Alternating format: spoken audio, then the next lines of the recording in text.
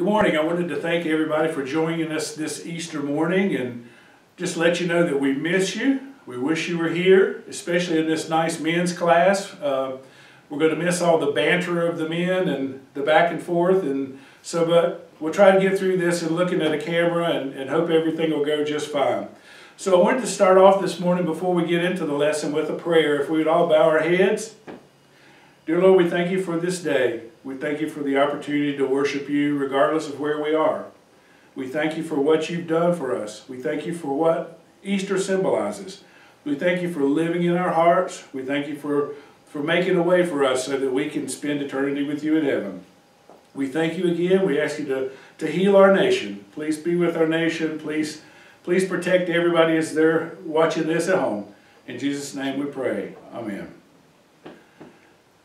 You know, if I were to ask a hundred people, or just, just look at each other wherever you are and, and think about this for a second, what do you think is the most important prayer that Jesus prayed while he was on the earth? Some people would say it's the Lord's Prayer, and that's, that was a very important prayer, true. Some people would say it's Lazarus' prayer, the, the prayer that he used to raise Lazarus from the dead. Some people might say it was the prayer that he made over Jerusalem as he entered, or the three prayers he made while he was at the cross. But this morning, um, I want to take a little bit of time and, and look at the, the prayer that I feel is probably the most important prayer that Jesus prayed, and that was his prayer in the Garden of Gethsemane.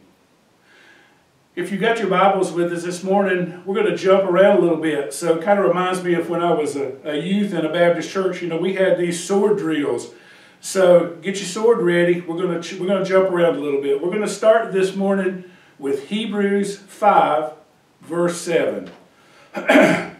Who in the days of his flesh we had excuse me, when he had offered up prayers and supplications with strong crying and tears unto him that was able to save him from death and was heard in that he feared.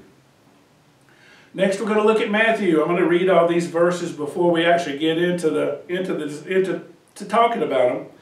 The next scripture is going to be Matthew 26, verse 39 through 42. We're going to start at verse 39, and it says, And he went a little further and fell on his face and prayed, saying, O my Father, if it be possible, let this cup pass from me. Nevertheless, not as I will, but as thou wilt. And he cometh unto the disciples, and finding them asleep, and said unto Peter, What could you not watch with me for an hour? Watch and pray that ye enter not into temptation.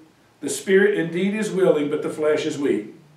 And he went away again the second time and prayed, saying, O my Father, if this cup may not pass from me, except I drink it, thy will be done. The next scripture is in Mark. Mark 14, verse 36 through 39. And he said, Abba, Father, all things are possible unto thee. Take away this cup from me, nevertheless, not what I will, but what thou wilt. And he cometh and findeth them sleeping, and said unto Peter, Sleepest thou? Couldst thou not watch one hour? Watch ye and pray, lest ye enter into temptation. The spirit is ready, but the flesh is weak. And again he went away and prayed and spake the same words. Now we're going to look at Luke chapter 22, verse 41 through 44. And he was withdrawn from them about a stone's cast, and kneeled down and prayed, saying, Father, if thou be willing, remove this cup from me. Nevertheless, not my will, but thine be done. And there appeared an angel unto him from heaven, strengthening him. And being in an agony, he prayed more earnestly, and his sweat were as if it were great drops of blood falling down to the ground. Now we're going to skip over to Philippians chapter 2, verse 8 through 9. And being found in fashion as a man, he humbled himself and became obedient unto death, even the death of the cross. Wherefore God also hath exalted him and given him a name which is above every name. And our last passage, I promise this is the last one, is Isaiah chapter 53, verse 10 and 11. Yet it pleased the Lord to bruise him. He hath put him to grief. When thou shalt make his soul an offering for sin, he shall see his seed, he shall prolong his days, and the pleasure of the Lord shall prosper in his hand. He shall see of the travail of his soul, and shall be satisfied.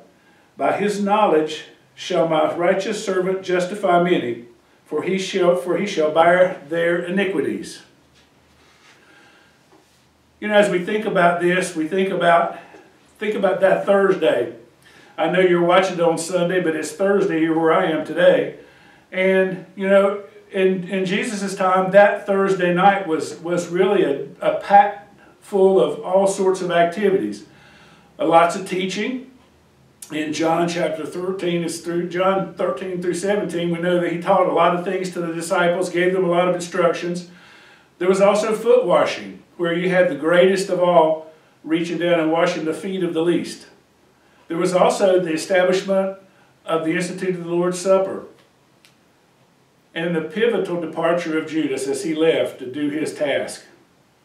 After these were completed, Jesus, uh, he and the other eleven left and went to the Garden of Gethsemane. If, you, if you've read much about the Garden of Gethsemane, it's about a third of an acre size piece of property and it's a place of comfort. Jesus liked to relax there. He liked to go there with his disciples. It was a quiet place that he could, he could pray and, and just feel nature. It was also located along the normal route that was from the temple to the Mount of Olives. The word Gethsemane in Hebrew means oil press. And in, in the garden, as we said earlier, Jesus prayed what I think is the greatest prayer that he had while he was on earth when this was going on, Jesus knew, he knew what he was facing. He knew the pain that was coming.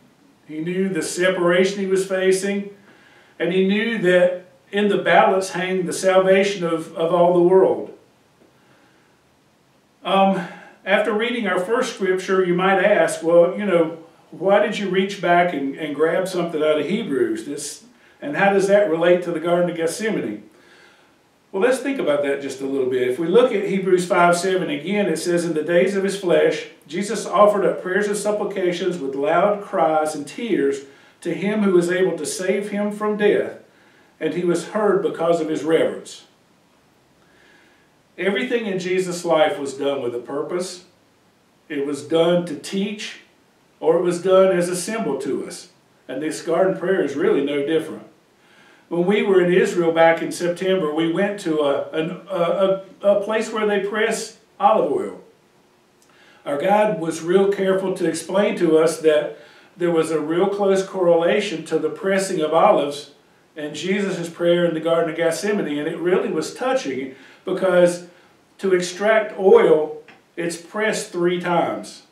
The first pressing breaks the olives down and it gets you get from that you get what's called the virgin olive oil, the best. It was the oil that was used for lighting the lamps in the temple. It was used for anointing. It was the best oil. When they had gotten all of that oil, they would add more weight. They would put the olives into a into a sack or a bag and add weight onto the wheel. And it would press it even more. The second pressing was just common oil that was used for cooking, lamp, lighting lamps, medicinal purposes, and things like that. When that was finished, they would add even more weight. And that after that weight was, was put on, they would get the final pressing. And that was lye. Lye came out of the, out of the olives. And that was used for, for cleaning, for washing, for making soaps. And isn't it interesting how Jesus prayed three times, and after all the pressure, it was also cleaning for us as well. He was able to prepare for us a way to, to wash us clean. it takes a lot of pressure to produce cleaning. And this is an example of that with what Jesus went through. Nothing in Jesus' experience comes closer um, to a description of the loud cries in the garden that we talked about just a minute ago than the prayers in Gethsemane. You know, Jesus was in agony when he prayed. And he was in such agony that he had great drops of blood that this fell as sweat, like sweat. He was under a lot of pressure, a lot of agony. Um, he had the pressure or the weight of every person's sins that had been born or that would be born. And I was looking on the internet just out of curiosity to see that's if we look at the time from the time Jesus was was was born until today, there's been about 108 billion people that have inhabited this world. So think about carrying the weight of the sins of 108 billion people. I mean, I try to think about just the weights of my sins and the things that I've done and I've been forgiven for. And I think we should all each look, look introspectively and see about the things that we have done and think about our sins. And then think about Jesus having the load of all that put on his shoulders. But interestingly, I, I looked up too, there is actually a medical condition called hermatidosis. It's a very rare, but it's a real medical condition, and it's where one's sweat will contain blood. Apparently, the sweat glands are surrounded by tiny blood vessels, and these vessels can constrict and dilate to a point where they will actually rupture, and blood will infuse into the sweat glands and will come out as blood, just like we were talking about here with Jesus and this only causes ex extreme anguish. So if we look, what, what was the content of Jesus' prayers and supplications? Um, we know that he prayed, remove this cup from me. And we know that he was heard in reverence. Hebrews teaches us precisely that, that with his reverence he was heard. But was the cup removed from him? No, it wasn't, was it? he suffered the fullness and the, of physical pain and designed wrath. So, if we look at his first prayer, both Matthew and Mark portray Jesus as praying three different times. And each time they went back and found Peter, James, and John asleep. And I wonder what would happen. Would that happen to us today? If, if, if, if we were left alone for a few minutes, would we be napping instead of would we be watching? I think today we nap a lot when we should probably be watching a bit more than we do. Luke, on the other hand, gives a singular summary description of Jesus' prayers that includes a detail that, that is not mentioned by any of the other writers, and that's the visitation of the angel. Luke wrote that he withdrew from them about a stone's throw, knelt down and prayed, saying, Father, if you are willing, remove this cup from me. Nevertheless, not my will, but yours be done. And then there appeared an angel to him. What do you think the angel was there for? Do you think the angel was there to take the cup away from him? No. The angel was there to strengthen him. The angel was there to, that was God's way of saying, I'm not going to remove this from you, but I'm going to send you a comfort. I'm going to make it possible. I'm going to strengthen it. I'm going to strengthen you. I'm going to make this possible for you to endure this. Because we got to all remember, Jesus was, he was in a man's body. He was in a body just like ours. And he knew what he was going to have to go through. He knew that he was going to be beaten. He knew that he knew that he was going to be scourged. He was going to have a really, really difficult time, almost unto death. And he was afraid that he might, in fact, not be able to carry through with it. So God sent the angel to strengthen him, to make sure that, that he, was, he was strong enough. He would not remove the cup, but he would make it so that he could actually endure it. According to Matthew, when Jesus went back to pray the second time, he didn't say the identical words as the first time. The first time, remember in our scripture, he said, My Father, if it be possible, let this cup pass from me. The second time he said, My Father, if this cannot pass, unless I drink it, your will be done. So having the angel there to comfort him, to strengthen him, kind of gives us insight that at that point he knew, after the, after the first prayer, he knew that he had that cup, that he was going to have to drink the cup. He was going to have to continue and go through with it. Um, Mark also said and again he went away and prayed, saying the same words. But we don't need to think as that as a contradiction because the words simply refer to your will be done. That was the main theme of, of the prayer that Jesus prayed when he was in the garden is your will be done.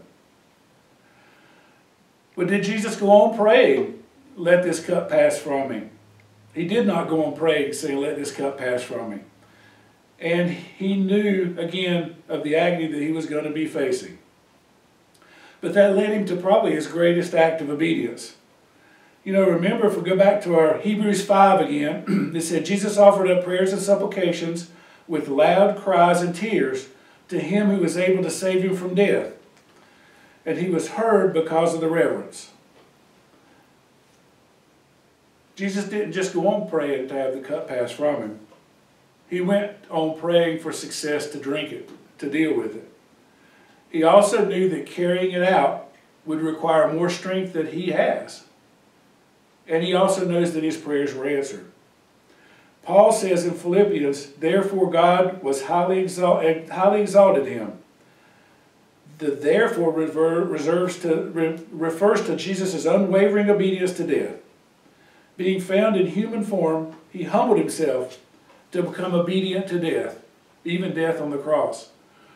And I know we've all studied the Bible enough to know that the death on the cross was a it was a terrible thing. It was an embarrassing thing. It was so bad that Roman citizens were not allowed to be crucified.